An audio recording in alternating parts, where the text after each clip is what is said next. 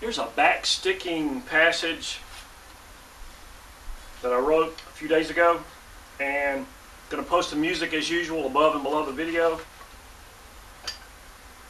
And it's in 3-4, which is a little unorthodox, but anyway.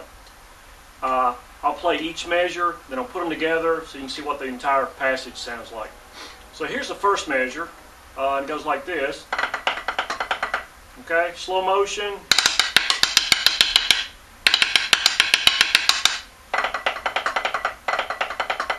Okay, second measure.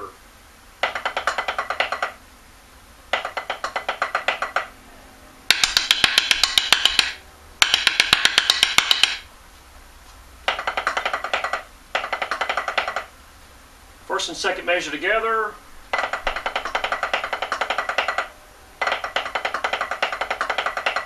Okay.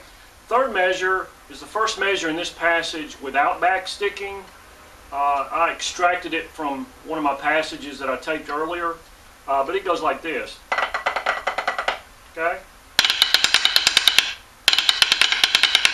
Slow motion. Okay. So we put them all together, measure one, two, and three, and we have this.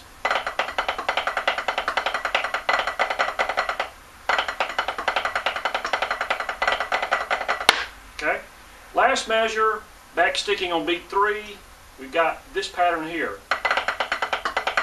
Okay. And I'm actually going to end this on the right. So we'll do this like that.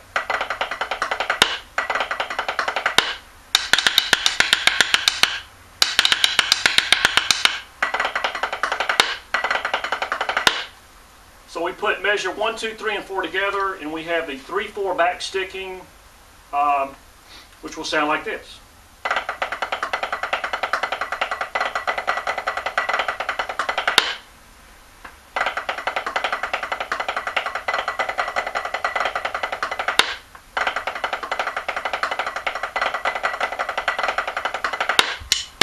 So there you have it. Backsticking passage. Uh, you can check out the music above and below the video.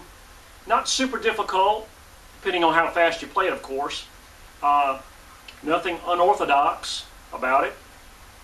No hybrid rudiments to speak of that are difficult. So anyway, uh, just a neat little pattern that you can throw into the middle of a solo.